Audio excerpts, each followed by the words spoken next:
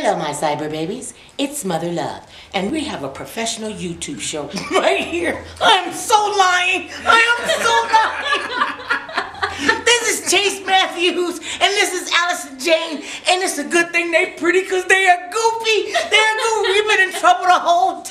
We are not very professional We, YouTubers. we, this is a we, this is a professional operation. I'm sorry. I told y'all we're gonna get on camera. Mm-hmm. We're gonna be professional. I'm And we're gonna act like we, Yeah. and we're gonna be dignified. Mm-hmm. Okay. All right, okay. all So now tell us about your dignified rock show. Rockstar lifestyle. rock, rock star lifestyle Very program. dignified. Yes, very dignified. Okay, sweetie. No, sweetie, we don't I teach just want to help you. I just want to help you with this. I don't know. I want you to tell Mother Love how you put rock star and dignified in the same sentence. Rock star mean I'm tearing up something. I'm gonna be drunk and I got on the same underwear from Monday and this Saturday. Well, I can teach you all about doing those things too. Oh. Uh, how to wreck a hotel room or, or So is this a bring learning the show? groupies back or whatever. But uh, but oh oh no. Oh, oh, oh, yeah. Look, did she did she go into Fans system for mode? signing signatures, of. Did she go into system mode?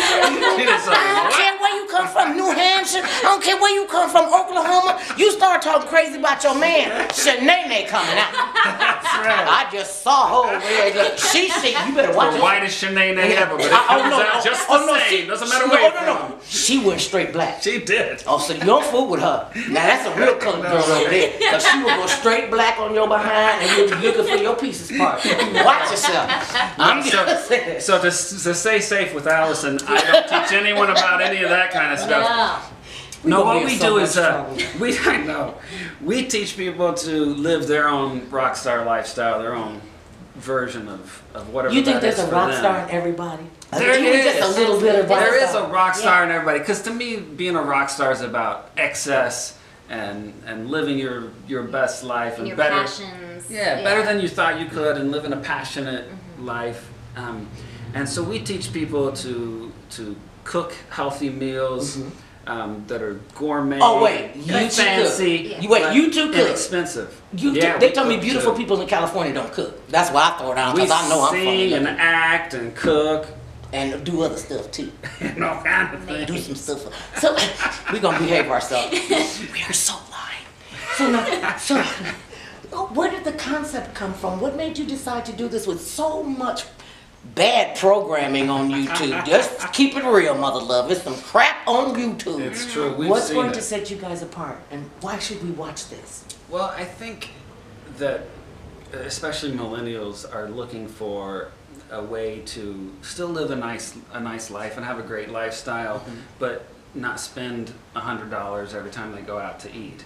So, like uh, my next show that we're we're filming probably this week is I teach uh, young guys or girls or whoever really um, to make uh, truffled filet mignon with some with some veggies and and a burrata You know, rock stars salad. don't even know what And filet mignon. They don't either. are. They don't. They They don't just know what order truffles are. on the You room service. feed them liver. they won't know.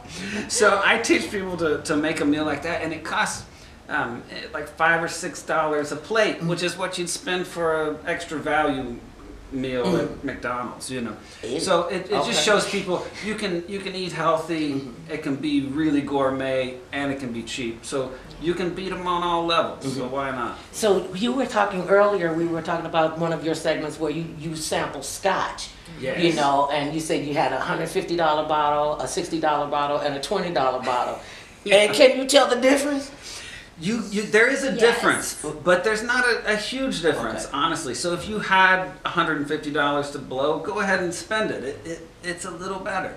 Is it $100, $130 better? I don't know. I don't think You know, the $20 bottle at, at Trader And Joe's you're gonna still get people. drunk off of it. Exactly. If you drank a half a fifth of scotch, I don't care if you pay two dollars for it, you're gonna get drunk. And you That's don't get true. mad if your friends open it up either. You know? Yeah, and don't let them see you can't let your friend. You have to hide the good stuff from your That's friends. right. Because I remember I was having a party, and and I have we used to have a, a, a what is it the the bar, okay? And so my son knew where the where the where I kept the good liquor, you know.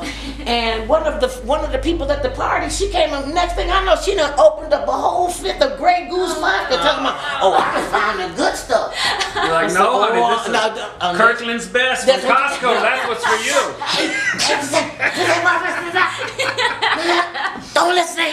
Don't listen to him. put the Kirkland vodka. I mean, she has Grey Goose, Grey Yeah. Goose only. You know, but I, I get the Kirkland bottle and I put the. Yeah. I mean, Is we don't do that. Is it We time for us to go that. on a break? Cause these two is getting. We, I'm gonna cut him. We will be back. for secrets.